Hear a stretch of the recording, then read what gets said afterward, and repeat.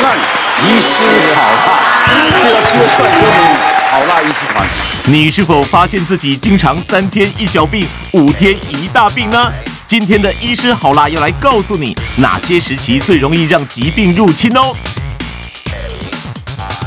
三位艺人又遇过哪些疾病呢？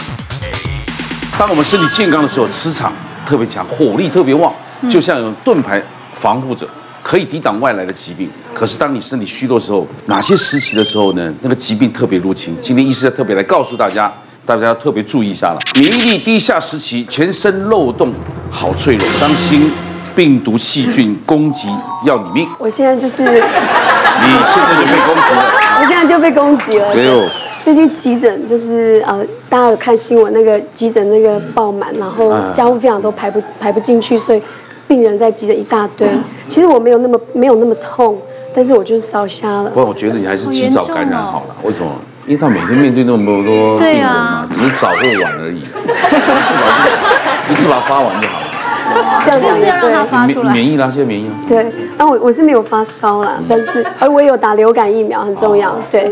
那有一天呢，就有一个四十五岁的男生来哦，然后他来之后，他太太很生气，一脸就是要要准备离婚那种脸，这样很生气，就说你自己讲。啊，那男生很不舒服，他心跳很快，然后发高烧，然后就是说我下面那边有疱疹。嗯，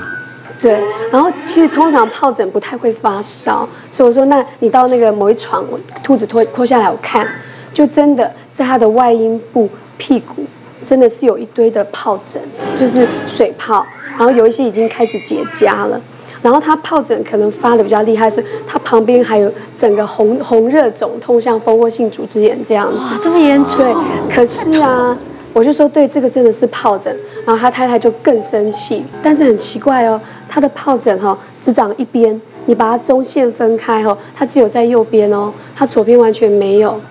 所以它比较像是带状性疱疹，而且它的分布哦，看起来就是一条某一条神经的分布位置这样。那带状性疱疹其实就是我们的水痘病毒，那它就它不会完全杀光杀干净哦，它会存在我们的神经节里面。你免疫力差的时候，它就跑出来了。嗯，对，所以我们就帮这，因为这个男生他有有合并那个蜂窝性组织炎发高烧，所以我们就帮他抽血，就发现哇，他白血球也很高，而且他贫血，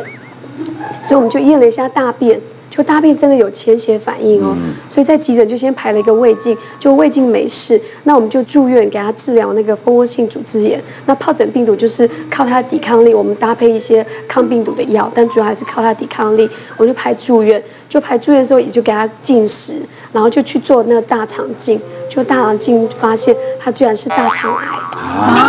再回去问他，你最近有什么不一样吗？他就说啊是有啦，我大便是没有看到有血，也没有什么黑大便或红大便，但是我的大小便有时候会便秘，有时候大便出来的时候它变得很细，然后大不干净的感觉。就这个时候，他太太本来一开始很生气，以为他先生得性病。那这个时候，他觉得很内疚，都没有关心到先生，所以他们就开始面对大肠癌来去治疗大肠癌这个问题。所以，就人在抵抗力低下的时候，有一些刺激性的感染就会跑出来，像那个腿爪，就是带状性疱疹，就是一个常见的。所以，我们每次看到带状性疱疹的时候，都要想这个病人是不是太累了，抵抗力太太差了，压力太大，还是他有什么东西让他免疫力低下，比如说有癌症啊、糖尿病啊、洗肾啊这些等等的。免疫力下降一般有几个原因啊。第一个原因就是呃免疫系统老化，所以人到了一定的年龄之后，他的免疫力就会开始变差。六十五岁以上的老年人就建议要去打这个流感疫苗，还有肺炎链球菌的疫苗，因为当他免疫力不好的时候，如果被感染到，就有可能会变成重症。另外，像我们呃一般的人啊，如果是遇到这个睡眠不足或者是压力太大的时候，我们的免疫力也会变得比较不好。嗯，那研究统计，如果每天可以睡足七个小时的人呢，他比较不会得到感冒。万一这个人他年纪又大，然后呃睡得又少，那这个呃压力又刚好很大请问一下，六十几岁以上的人，谁能睡足七个小时？几乎不可能。对，六个个小时就很长了。所以都就所以这老年人的抵抗力会比较弱。对，这些朋友大概就要靠运动了，因为运动对于提升免疫力是有帮助的。对对，但是也不建议去做一些太剧烈的运动，因为当你做剧烈运动，或者是说你运动的时间太长的时候呢，对于你的提升免疫力反而是没反而有好处。是累过头了啊。对对对，有一种情况，它叫做刺激性感染，刚刚田医师也有提到哈，那就是说有一些特殊的病菌呢，基本上正常人是不会得到，他专门会去感染那些免疫力非常差的人。之前有一个病人，他是红斑性狼疮住院来做治疗。那我们知道，像红斑性狼疮这种自体免疫的疾病呢，因为它的免疫系统会去攻击我们正常的器官，所以当它发作的时候，我们必须用大量的类固醇把它的免疫系统整个压制下来。嗯，那在做完治疗之后，有一段时间，病人的免疫力会处于一个非常差的状况。那这个病人呢，打完之后的某一天，他又突然昏迷，被送到加护病房。那经过一系列的检查之后，后来确诊这个病人是一个隐球菌的脑膜炎。啊，那隐球菌呢，它是一种呃特殊的霉菌，它存在鸽子的大便里面。那我们我们知道鸽子呢，它会停在一些一般家庭的这冷气机上面。我好在呃免疫力正常的人不太会被它感染可是。一一般人还喜欢喂鸽子哦，对，在国外不是都粘在身上还拍照，这其实很危险的，对于免疫力不好的人来说是的。那个粪便啊。对对对，啊，因为当免疫力差到一定的程度的时候呢，他连发烧都会烧不起来，所以他也没有办法早期发现。等他发现的时候，已经到很严重了。所以后来这个病人呢就没有被救回来。那一些癌症做化疗的病人也有类似的情况，就是说，当他免疫力很差的时候，去得到这些刺激性感染，实际上是有可能会致命的。嗯，大家都知道，如果呃不幸有中风的话，其实在复健的过程里面是很漫长的。嗯，那多半呢、除了病人辛苦之外，陪伴的家人也蛮辛苦的。那我们也看过很多陪伴的家属啊，就是也有一些就是越来越虚弱，甚至他最后自己也病倒。那我们这边碰到的就是一个三十岁的男生，那他就是越来越虚弱，可是他那个虚弱感觉跟我们平常看到的不太一样，因为有一些人之前没有那么高频率的进出医院，也不习惯戴口罩，所以确实刚开始会有一些家属的免疫力是下降，但是他不是那个样子，他是越来越没有力气，越来越虚弱，然后一直在感冒，然后我们就觉得，哎，是不是有点压力太大，还是怎么样，就很想要关心他，结果他就说，原本他只是请假，现在已经没有办法工作了，然后就觉得啊，怎么会这样？才三十岁而已，他就说，其实以前他只要压力大，他就会嘴巴破，嗯，那嘴巴破之后呢，他整个人就会停摆。就没有办法好好的工作，所以他就会去一他们家附近的一家诊所拿那个感冒药吃。那一吃了，大概两三天，那个嘴破就愈合了，然后他就可以正常生活。但是因为爸爸生病的这段期间呢、各方面更加的劳累的关系，所以他很常去那一家诊所报道，然后一一吃药就好了，然后又很快又感冒，又再去吃药，所以在这半年短时间期期间，他吃了他过去可能多了两三倍的那个药。后来我们就说，哎，这样子有可能会是那个药的问题哦，不然就是你压力太大，反正不管怎么样。一定要去加一颗检查一下，结果去加医科一看啊，他拿他的药包去，发现那个药里面有类固醇，对，而且他高频率、高剂量的这样子吃啊，就造成他就是脸越来越圆，然后没有力气，其实就很像那个库欣氏症，就是因为吃药造成的。那后来就是我们建议他好好的休息，然后把那个药停掉，他还有戒断作用，他戒的时候非常的痛苦，然后之后才好好的。前几年我拍戏那时候，连续刚好嘎了就是两档戏，结果有一天晚上，我发现我的脚很痒，然后就是在关节的部分很痒，就一直抓，而且我边睡觉，因为已经太久没有好好睡，我就边睡就边抓，抓到我觉得好像抓到流血，我想说好，明天早上去看一下医生，然后一起来工作就忘记，就隔天连续两天都这样，然后我就抓到，我发现我有看到抓痕是流血，我想好，我明天一定要给医生看，就早上起来不见了。我想哇，那我要不要去给医生看啊？可是我晚上很痛苦，就想说不管了，还是去去看一下医生。结果医生就说，哦，你这个可能是那个免疫系统下降，那个是荨麻疹，它是等于是血液里面的过敏，等于说你晚上休息的时候，它会上来的比较快，然后到了白天血液在跑的时候，它可能就比较不明显。所以我那时候才知道说啊，我这已经太累了，然后甚至于我那时候还有过敏源，就是喝了那个。奇异果汁，然后那时候我还以为想说补充一些水果啊什么，我就刚好那几天都喝那个奇异果汁，都是喝原汁。后来就是有吃一些类固醇的药，要把它压下来。可是我一旦累，荨麻疹上来的很快，然后我就觉得好恐怖哦。后来才慢慢的把工作量稍微比较平衡一下，就让自己休息还是要够。像我最近门诊遇到一个个案，就是他是一个三十岁左右的年轻人，然后因为他现在正在念博士班，然后他就是每天都熬夜写论文，因为他说他晚上思绪比较清楚这样子。其实他白天也没在干嘛，然后反正他就是都熬夜写论文。就是他来看诊的时候，他就是全口的牙龈都浮肿，然后他就说他刷牙每每刷必流血，然后我就帮他检查之后，确定就是跟他说你有轻微的牙周病，一定要来尽早治疗。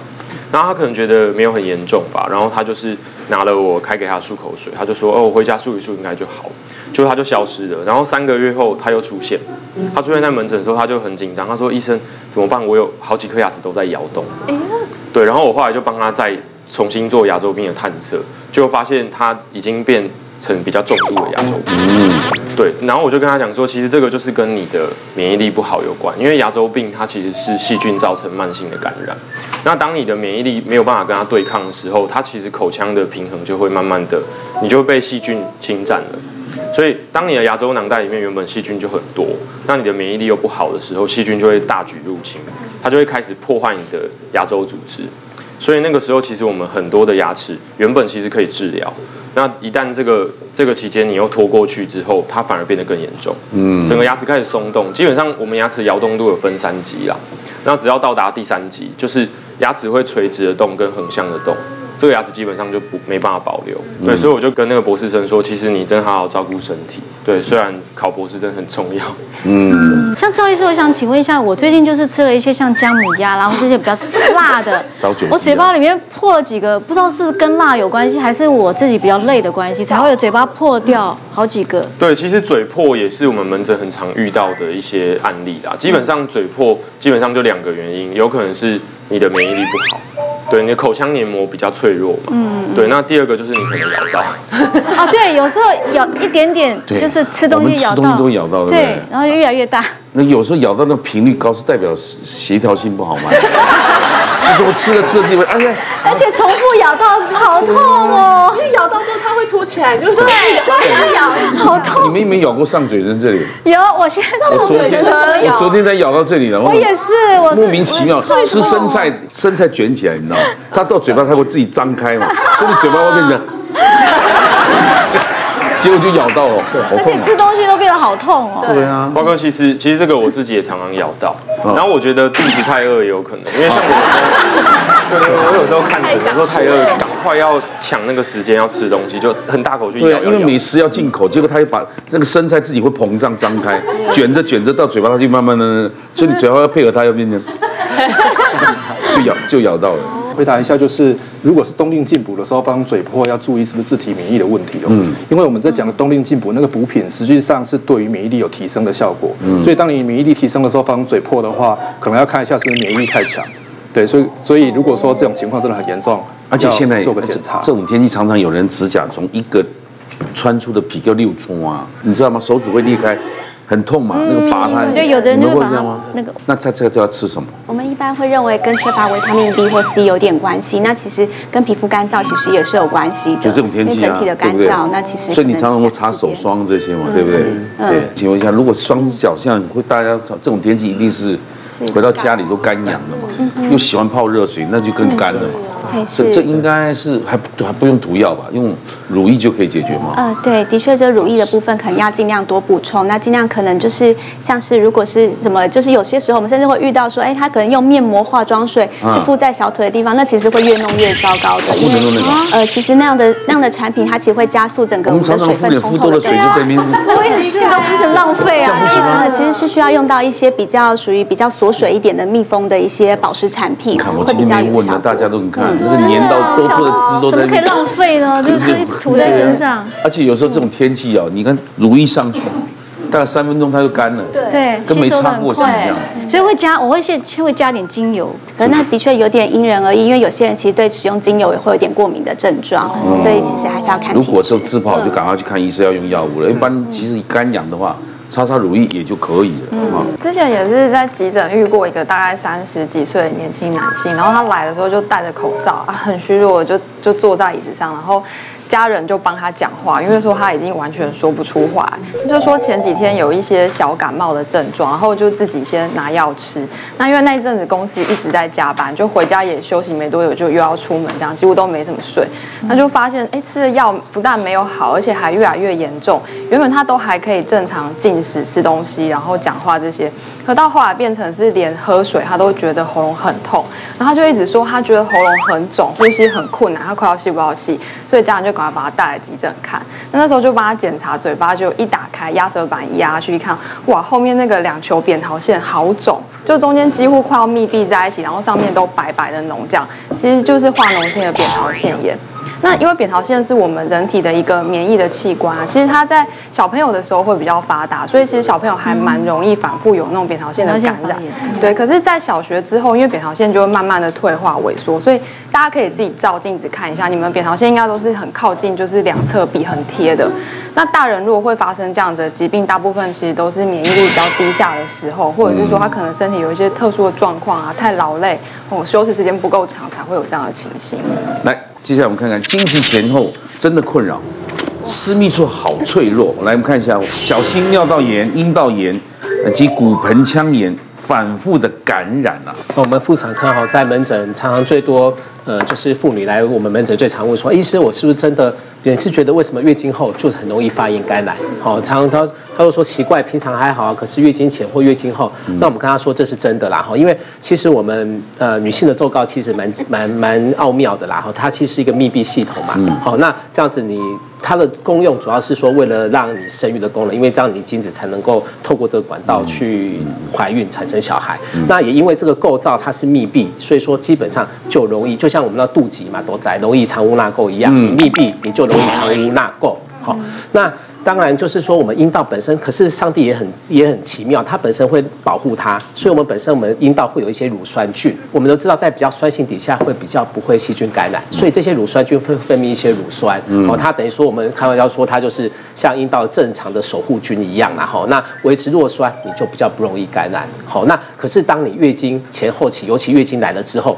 常常潮湿。好，那常常经血就会让里面的环境去改变。好，那当你环境改变的时候，就容易发炎。好，那我们曾经有遇到一个案例是这样，一个四十几岁的女性，然后那因为她就是在月经过后，就是常常会有一些发炎感染，可是她不知道就是从网络上还是哪边来听到不正常的观念，她就是用那个肥皂水啊，一开始用肥皂水、食盐水去洗阴道，好，越洗越洗越厉害。那洗厉害之后，后最后造成所谓的细菌性感染。那细菌性感染就会那种黄绿色、臭臭的味道。那人家说那种臭鱼味，哈，都是那种臭臭的。所以有时候像我鼻子有点过敏啊，当妇产科还不错。不然其实你鼻子，但有时候看着的时候，你鼻子太敏感，你就就觉得就闻到味道，其实也也会有点不太舒服。啊，讲到那个病人，那最后他就是因为这样子会有那种臭的味道，他先生就不想跟他行房。那他就困扰，那不行，反正他就担心先生乱搞什么的，然后他就最后又从哪边听去用明星花露水去洗，好像那病人，对啊，就很夸张，病人一进来我们就闻到刺鼻味，连我这种鼻子有点过敏都会闻到刺鼻味，好，然后后来我们就问到他，哦，原来是整个病史是这样，所以我们后来就帮他用了一些塞剂治疗，正确跟他讲怎么去保养环境，才会渐渐才渐渐的改善。那有时候像你如果阴道发炎没有没有治疗好，甚至会骨盆发炎。好，有的因为这样甚至拿子宫都可能。好，所以不要因为这种小小的疾病造成很大的困扰。像我们之前有遇到，它是里面阴道发炎，结果它造成外面，我们外面其实我们女生的外部都有一些毛囊嘛，对不对？像毛囊在年轻女生有时候就会长青春痘，就是毛囊堵塞住。那么遇到那个就是比较特殊，它本身比较肥胖一点。好，然后卫生习惯稍微差一点，然后那个毛囊整个就发炎，就有点像蜂窝组织炎一样。好，那他的骨的其实蛮厉害的，我们在门诊就要帮他做切开引流，结果那 house 不是一切开，那脓就喷的到处都是，有这么大吗？会有的很大。里面的压力有时候很大，一化开的时候就会喷出来。就是长那么大，他自己穿裤子会不舒服？就是痛，对，就是痛。他就连坐也坐不坐，就是你看他跟他顶啊啦，如来如果啊，哎，那个就是顶啊，顶了吗？对呀，对对对。女生很常在夏天可能会穿裤子，像我们平常又要跳舞练舞，然后可能又会流汗。我听过我身边很多女生都感染那个阴道炎，嗯，然后我自己也有就是感染过，然后因为可能是我不知道夏天太闷热，还是流汗，他们线条要穿的很。漂亮，又尤其紧牛仔裤然后要嗯可能要比较贴一点，然后你跳又热又流汗之类的，就很容易感染。然后那时候我第一次还想说，哦，怎么会这样？因为我开始觉得好像有一点瘙痒的感觉，我想说，哎呦，到底是怎么回事？我也不知道，我就去药局跟他讲说，哎，我好像有点不舒服，痒痒的。然后他就拿了一条药给我，我就回家擦，就哎呦。有好一点嘞，好像没那么痒嘞。结果大概隔两天之后，他就开始分泌物变很多，然后就我应大家应该知道，可就一块一块白白的。然后我想说，呃这是什么东西？然后立刻去看医生，然后医生说你就是阴道炎，然后他就开了一个礼拜的塞剂给我才好的。于心那个就是典型的念珠菌感染。你刚刚说那种块状像乳酪嘛，对对对哦所以我们在那个医学名词上叫 cheese like，就是乳酪状，一块一块的这样豆渣，那一片一片的会出来，那那种又特别瘙痒。对，又特别擦，所以刚刚他就像有些说，他去药局拿着药膏，你药膏你只是擦外面而已啊。事实上，这个来源是阴道里面的一些念珠菌不正常的的可是，增生。可我有听说，如果你想要不要那么容易感染的话，吃那个蔓越莓跟多喝优酪乳是真的吗？这个我解释一下，蔓越莓比较常吃应该是在膀胱，好，因为我们常说，呃其实阴道炎跟膀胱炎是邻居啦。你看有时候那有时候你看这家失火，不见得是这家起火，搞不好是同时起火啊。对，好，所以其实膀胱我们常说，我们膀胱里面有有时候逆行上去哦，因为我们。呃，有一些像蔓越莓有一些花青素，它可以让那个膀胱的细菌不容易附着。可是这个也不要乱喝，因为我们之前就有病人以为听那个说喝蔓越莓就狂喝，去那个 Costco 买了一大堆，那个就喝到还没好，自己就胖了四五公斤。对 对，然后所以这个就就比较天的想法，然后以为那其实那个因为浓度不够，有统计说你真的要达到治疗效果，你一天要喝到快一点五公升到两公升。那不能直接吃蔓越莓吗？一定要喝果汁吗？剂量可能不见得够，这个只是保养，所以我才说多补充这些可以减少感染，并不是用它来治疗。有问题还是要看医生吗。优乳是这个就是益酸菌，我们刚刚说的，我们我们阴道有一些乳酸嘛，哈、那一些。当然你要比较尽量不要糖的啦，甜的你到时候又胖又什么，反而更麻烦。好、所以像一些乳益酸菌啊，或一些呃优酪乳，的确是对阴道的好的细菌保养有帮助。像我们诊就有遇到是三十岁的女生，她其实她已经有一些血尿啊、解便困难的问题，她已经同时去看了泌尿科，那泌尿科有跟她呃做一些尿检啊，一确定说哎是尿路的感染，那就需要吃口服抗生素。那可能她就觉得奇怪，她半身越来越红、越来越肿、越来越痒，那同时也是有看到一些白色的分泌物，她就过来看我们，她的确哎一看就是整片是，其实外阴部也都是白色的念珠菌感染，那可在外阴部的话，它的表现是一些红肿的状况，它整个已经抓到都糜烂破皮的情形。对，那其实就是应该说，可能就女生的部分，可能就记得在经期前后要稍微就尽量保持干燥啊，尽量穿宽松的衣服。那刚刚提到那些保养品的部分，但或多或少可能有一些些帮助。那我们大概都会建议像是蔓越莓啊、益生菌啊、维他命 C 啊，那可也许可以稍微让这个就是我们可能这下半身比较偏就是 pH 值可以比较偏酸性一点。那还有提到那个肥皂水是绝对不可以的，肥皂水它其实是 pH 值至少是八到九，那其实整个把那个生态完全破坏掉，是很危险的事情。分享一个案例，就是一个二三十五岁的女生，她也是，她就是那种常常在经期前后就会感冒的女生。就她那天来，就是她看起来很愁容，就是很难过这样子。然后她就说她是有尿道感染症状，而且有血尿这样。然后所以她就来看，我们一验就真的是尿道感染，所以我就给她吃药，也做尿尿道感染的胃教。就过了两天，她又来了。然后他就说更严重了，本来吃一天有好了，又来了。然后我就问他说：“那你有没有喝？你有没有憋尿？有没有喝水啊？”他说：“这些我都有有遵照啊，我都做得很好。”我就再问他，我说：“那你有没有跟你先生行房？”他说有，而且他说其实上一次也是跟先生行房之后才开始尿道感染的症状。然后我就看他的外阴部，说：“你裤子脱下来我看一下。”就外阴部都有红肿，然后破皮。他就说他生完小孩，然后也度过了那个最辛苦的那个时期，就他跟他先生感情开始回温，所以他们就常就比较多亲密的的关行为。他很想配合，但他发现他就是很很不能够湿润。所以他就是会容易破皮，他就很难过，因为他其实他说他在到急诊之前，他其实就有这样，他都是去药房买药，所以我就转给那个妇产科。后来这病人就比较辛苦，他就是在月经前后说特别容易感染的时候，他在行房之后，他都要吃抗生素。伤口难愈合，肌肤敏感好脆弱，小心蜂窝性组织炎、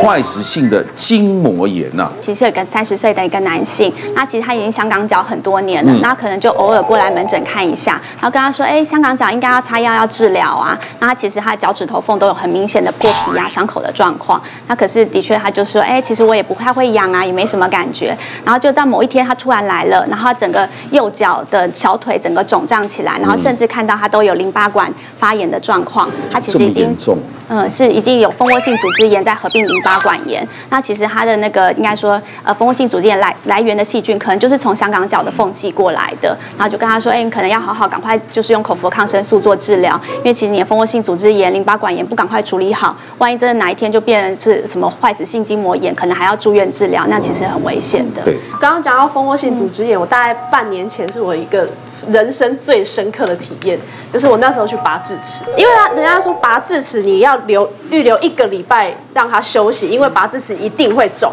然后我就说好，那我就预留一个礼拜，然后。然后，因为我我我可能觉得对自己太有自信了，我大概第四天呢、我应该就我就跟朋友出国了。嗯，对，然后可是因为那时候医生有跟我说，呃，你因为你的智齿是开刀割开的，那你现在牙龈这边有一个洞，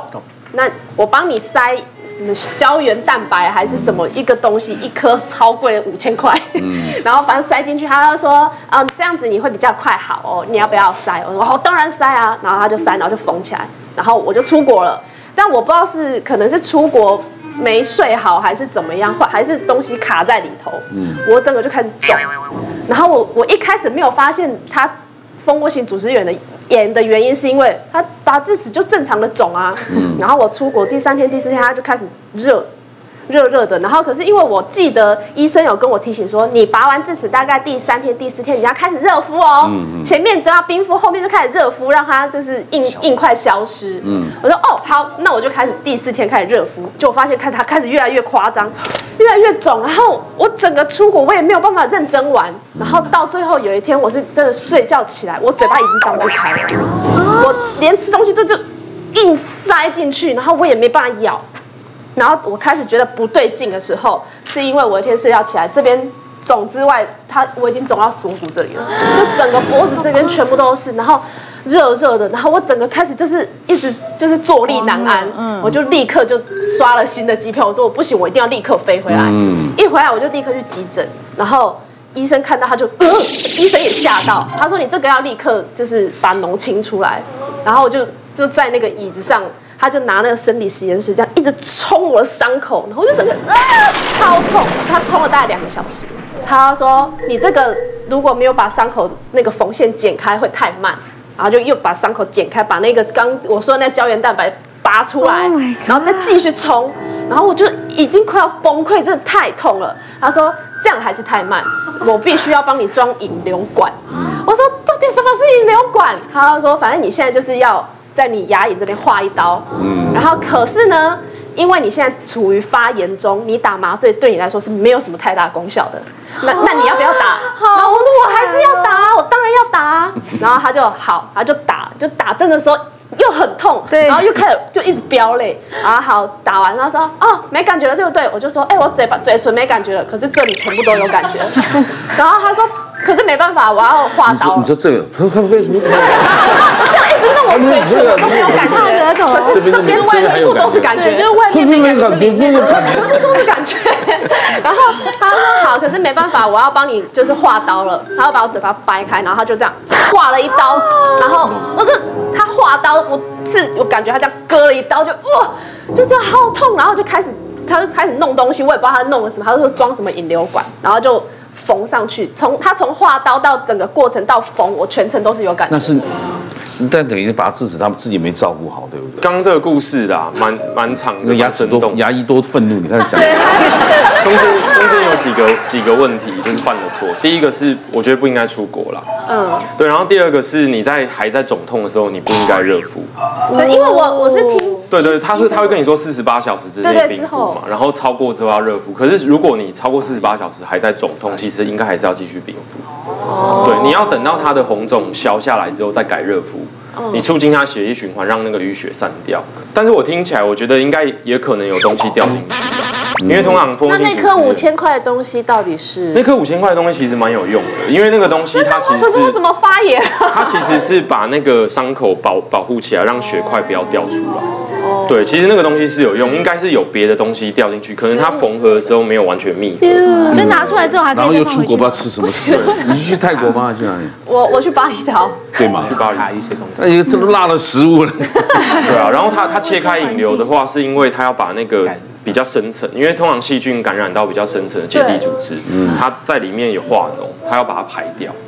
对啊，啊医生说打麻药不会麻也是没有没有错，因为通常我们在发炎的时候，那个区域会呈现比较酸性。嗯那我们的麻药是碱性，所以你打下去，通常有很多的麻药会被中和掉，所以效果都不好。你会觉得整个嘴唇都麻掉了，可是那个地方一直在痛。对，对，然后我我这边提一个案例，是我最近在门诊遇到，这个比较少见，但是大家也要特别注意。这个是一个四十岁左右的人，然后因为他平常有抽烟的习惯，然后他来拔牙齿，然后他拔牙的时候，我就特别高抽烟，就他偏偏他就是那种很不听话的病人，因为他拔完牙齿之后，我让他咬着纱布，就他也没有乖乖咬。他就把纱布吐掉，然后在门门口讲电话抽烟，还被我们助理看到。结果三天后，他打电话来，他说怎么办？我 我吃了抗生素，也吃了止痛药，什么都吃的，然后我都有照你们的要求做，可是我的那个伤口越来越痛，越来越痛。而且他打电话的时候，他有特别讲到一个关键字，就是他说他他之前拔牙齿都会流很多血，然后他这次没什么流血。那通常医生我们听到这这个关键字，其实我们反而会害怕，对，因为这个其实叫做干性齿槽炎。它跟蜂窝性组织炎是完全不一样的东西，在英文叫做 dry suck，就是他的伤口没有血块保护。结果他后来回诊的时候，赶快安排一个时间来看，结果发现他那个伤口啊，里面通常大概两三天之后，那个伤口还是会有点血肿肿的这样。结果他不是，他整个伤口是打开的，然后里面灰灰白白，你可以看得到底下的骨头跟神经都裸露出来，这叫干性齿槽炎。就是通常我们在伤口愈合的过程会有血血液会凝结变成血块，它会把这个伤口保护住。那如果最最常高风险群，就是说，像有些人很喜欢吐口水，他觉得嘴巴一直有血味，他想要把它吐掉。那血块一直被你吐掉，那个伤口慢慢就没有血块保护了。他口腔里面很多细菌，那那个伤口暴露出来，你的骨头就会被感染，细菌感染。然后另外一种人就是抽烟，因为抽烟会让局部的循环变得比较差，血块也不容易保护。那还有一种人也要特别小心，就是女生如果有在口服避孕药。对，因为通常这个也是拔牙前一定要问的，因为口服避孕药里面有雌性激素，那雌激素会干扰血块的生成，所以通常如果有这样的病患，我都会特别注意。其实这个病的发生几率不高，大概百分之二到百分之五，可是它发生的时候非常的疼痛，它比蜂窝性组织炎还要痛。我们通常会用止血棉去沾一种药，叫做丁香油酚，去擦那个伤口，让它再稍微止痛，然后一样是开抗生素，让那个伤口自行愈合。因为他们常常拔完牙之后，病人不舒服就来到急诊。然后有两种，一种是拔完牙之后没有乖乖听话咬纱布，然后就一直流血，一直流血，然后就一直骂，一直骂，因为你就没有咬啊，医生就叫你要咬，因为他那个出血点很深，牙根很深，所以你拔掉，我们没有办法直接压到那个出血点，只有靠纱布还有你自己的血块愈合，然后再来过了一两个礼拜之后来，因为肿起来了。也是要，没有配，没有听医生的话，说要吃抗生素啊，然后没有嘴巴没有清洁干净啊。我们常常帮他化开来的时候，里面有饭啊、红萝卜啊，形成的脓在那个里面这样子。对，所以就是拔牙，然后就觉得 牙医生很辛苦，会被会被骂。对，可是就是呃，医生在开拔完的时候一定会给你喂教，喂教一定要听清楚。有很多人在香港脚是最近穿那个雨鞋，时尚雨鞋或是靴子闷出来的。那我们在复健科遇到香港脚啊，就是造成蜂窝性组织炎的极致就是截肢。因为我们要教他们穿戴义肢的的关系。那我这边有一个个案，就是六十岁的大哥，他在市场卖鱼，然后因为每天都要穿那个雨鞋，然后又非常的潮湿的环境，所以他因为有糖糖尿病的关系，然后就是香港脚啊造成的伤口都没有感觉，所以就感染上来变成蜂窝性组织炎，所以就截肢了。但是好险，他只有截到膝盖下面，所以还好。就是有保留到一些膝盖的功能，然后我们就说你一定要很特别特别的小心，你的工作又危险，然后又糖尿病，所以一定要好好保护你的脚跟另外一只好的脚。然后我们就大概追踪了一年之后，再去看一下他的病历，发现他其实前一个月已经住院了。那原因就是因为他没有好好的保护他那个呃穿义肢的地方，常常会摩擦，还是会造成一些伤口。然后有一天呢，他就是在冲洗他的那个摊位的时候，水就流到了他那个接触面的伤口，结果在一个小时之内红热肿痛就马上上来，变成坏死性筋膜炎。对，如果他没有即刻就医的话，他很可能就。呃，对，就会失去性命。但是，即便他一个小时内就医，他还是截掉了他的膝盖，就变成膝盖上的截肢。糖尿病的那个脚啊，都很烂的，都会到急诊啊。我们遇过最夸张的就是他整个脚已经黑掉了，他还是不去治疗，然后不去控制糖尿病，然后上面还长蛆。我们医护都有训练，不会怕血嘛，对不对？可是蛆就不是啊，所以护理师就会就会听到很多的尖叫，不是只有病人跟家属，就护理师那边尖叫，因为蛆太多了嘛，再把它清干净。那就是就是，所以还是要注意一下自己的免疫力。那我再讲一个，就是有一个大学生，他是台北的大学生，然后他们就是一群人去那个平垦丁那边玩，就在玩的第一天，他们在海水，他就被那个水母叮到了，叮了满满身都是，而且在腿最多。那他有很很严重的那个过敏反应，所以他们就去附近的诊所打针。那他那个过敏就降下来了，红跟肿跟痒啊都好了，但他还是继续下水。但是水母叮不是都有一些小洞吗？他觉得应该没关系，然后也不想破坏大家气氛，就他还是继续下水。结果第二天他就发现，哎，他开始有红肿热痛，而且好像会觉得有点冷。然后会有那种烧烧的感觉，然后他就想说不要破坏大家气氛，还是继续每天大家下水。后来到了不知道第几天的时候，他开始觉得会冷，然后跟同他同同学说我没有办法出去，我没办法出去。他冷哦，他一直在发抖。但他同学就请那个饭店来帮他量体温，他体温是四十度，他觉得很冷，但体温是四十度，所以他们觉得不行，我们取消吧，赶快带回去。就他们开开开开到一半还没有到台北，开到一半的时候，病人就整个人很喘，非常喘，而且开始胡言乱语，就是很像精神病这样子，然后还一直发冷发热发冷发热。他们用很多的那个外套怎么给他穿，没有办法，所以就直接下交流到先到一个医院。就那他就是一个坏死性筋膜炎，他的整个小腿啊，小腿是灰色白色的，而且他的右腿比左腿的还要肿。总之，你压下去好像海绵，里面有泡泡的感觉。它是产气的那种坏死性筋膜炎到膝盖，然后它是因为败血症，然后所以他开始就是意识不清，然后会喘，所以在那个医院就先给他插管，然后急救，然后打很强的抗生素，就跟他说你这个要赶快切开，不然他命会不保。但是他们是同学啊，爸爸妈妈在台北，所以他们再叫签自动离院书，再叫救护车上到台北。上到台北的时候，才一个多一两个小时，他从那个膝盖再挥到那个大腿。哇，对，然后血压在台北的时候就掉下来，后来就直接找那个整形外科，就从那个大腿的内侧、外侧直接画，画到脚踝。这个叫筋膜切开术，因为里面已经肿跟烂了，你必须要这样子化开、化开去，让里面的循环保护好，还有就是让那个一些组织液什么都可以流出来，然后去保这只腿。然后就打抗生素，那个腿光是每天的换药，他可能一开始说一天换四次，一次大概用到二十四块以上的那个四乘四的纱布，这样塞进去再拿出来，塞进去再拿出来。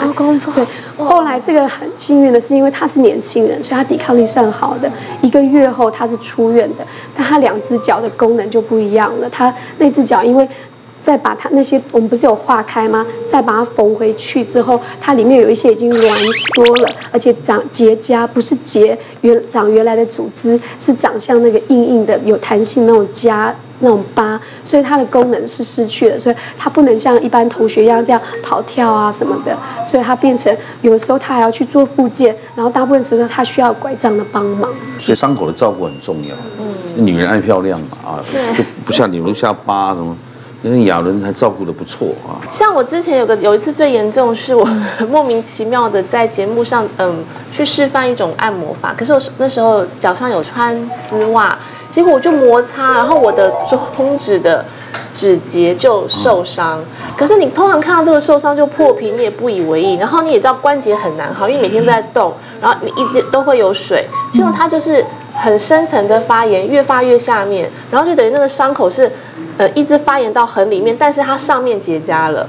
而且这个结痂是在我皮肤的呃水平的下方，可是你就是每次按到会极痛剧痛，然后后来才去问呃医生朋友，他们就说你这个里面的伤口其实它一直在往下坏，可是你上面封起来你看不到，你这个一定要把它把痂拿掉，然后要敷那种。消炎又杀菌的药膏，而且要保持它的湿润，因为它只要一干，它又结痂了。所以我那阵子这个关节那一次让我吓到，因为你觉得就是小小的一个伤口，感觉上一开始只是这个破皮，嗯，然后后来你也知道，就是自己有女儿，然后平常又会没事会撞到、刮到啊，连开个奶粉罐都会，是啊，手上马上就有伤口，所以我后来就会用一个再生霜。那这个再生霜其实它不是药品，而且它可以就是加速我们的那个伤口的愈合。而且有时候有一些伤口啊是又有伤口又有淤青，那通常呢，呃，这种两种药是不可以一起使用的。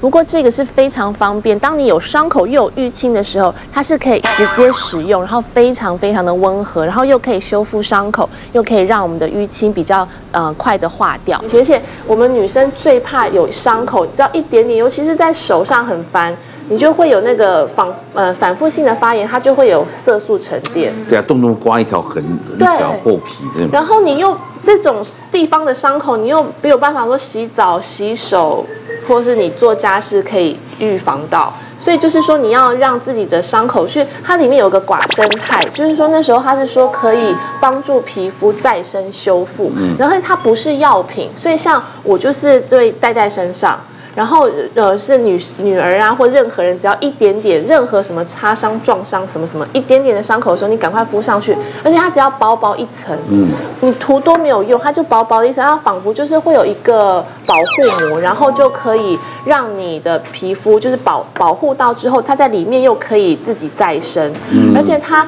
最重要的是那时候我会选择，就是因为它没有含什么类固醇啊、酒精啊、色香精啊、色素、防腐剂，通通都没有。所以就是我们自己用很放心，小孩用也放心。那如果是比较久的伤口还有用吗？比较久的伤口时效性，因为它里面有一些另外的成分，然后这个我就不是很了解，可能要问医生。然后因为它的呃就是携带很方便，所以我等于是现在化妆包里面会放它。是因为我们常常哦走路会刮到啊，对，或是这边，或是你洗澡用莲蓬头也刮到。还有就是年纪越来越大，我们免疫力下降，我觉得伤口修复很慢哦。你永远不会知道啊，永远说哎。我真那 OK，对，有时候不知道什么时候受伤的，因为你根本有很多地方桌桌角角撞到，都不知道。新鲜的伤口当然新鲜用啊，对了至于说你刚刚问的那个，就是已经比较久一点的时间的。其实我们应该说门诊的确会很常遇到，就是有病人来就说，哎，我要那个什么除疤凝胶，就它是先伤口形成，可那时候其实是不能够擦一些除疤的药品的，因为其实呃我们除疤的产品里面有一些是含有一些酸类的成分，其实在那时候擦粉反而会变得更严重。其实门诊的确我就遇过像是二十岁的女生，她可能就是一点点伤口刚形成而已，她就自己可能在就是自己就去购买了一些像除疤的一些药品，然后因为擦了以后又有过敏的症状，她就整个红肿了起来，然后其实又呃这样过敏情形，我们又要再给他一些药。那其实呃刚刚亚伦说到的那个就是再生霜的那个成分，就是它里面啊的确是有一个就是寡生态的成分，那可以帮助一个皮肤基底膜的一个修复比较快一点。那我们其实也知道，就是像表皮和真皮中间其实就是所谓的基底膜。那如果基底膜能够比较强健的话，整个伤口愈合速度会比较快。那其实呃我有看一下，就是它里面的那个成分，它是含有七叶素还有黑醋栗的成分，它可以帮助整个哎应该说循环的下比较加速啊，那消肿的速度也会比较快一些。那那所以其实的确刚伤口刚形成的时候，其实是赶快先把伤口照顾好是比较重要的事情。对对对是，而且要用对东西。嗯。就是你不要去找一些会刺激性的，而且它因为它不是药品，所以我用起来是很安心的、温和的。我们人的一种一感受，受伤如果擦了没有那刺激，你觉得它不会好？不痛不痒怎么好呢？这个怎么会好？古老的，你知道吗？这观观念上，其实不见得是要一定要刺激性才会对。不过身体有特别的敏感时期，平常一定要保养，才不让疾病趁虚而入。若有症状发生，一定要及早治疗哦，及时处理。谢谢。你也跟黄老师一样有脸部水肿的问题吗？其实我们左右锁骨下静脉是淋巴回收的地方，如果堵塞的话，就会造成代谢物累积，脸部水肿松垮，还有肩颈的皱纹。透过每天简单五分钟的按摩，还有调整呼吸，就可以帮助我们淋巴回流哦。手放在锁骨下方，小范围来回的滑动。调整呼吸的话是双手平举九十到一百四十五度，放松胸小肌，深呼吸。两个一起搭配的话，就可以帮我们打造小脸哦。许多妇女常常会有频尿的现象，呃，这叫膀胱过动症。当你每天小便大于八次或夜尿大于三次，就可以这样定义。那怎么样减少膀胱过动呢？第一，我们可以增加水分的摄取，这样可以减少泌尿道感染的机会。第二，我们要减少刺激性食物的摄取，譬如辣椒以及咖啡、茶叶等等的摄取。第三，我们可以建议做膀胱的训练。当你想小便时，我们可以增加呃五分钟再上，第二周可以增加到十分钟再上，这样慢慢累积三到四个小时就可以呃小便了。最后，如果这样子都还不行的话，建议您就医并以及药物治疗，这样就可以达到减少频尿的现象哦。别忘了订阅我们 YouTube 频道，并按下铃铛收看我们的影片。想要看更多精彩内容吗？可以点选旁边的影片哦。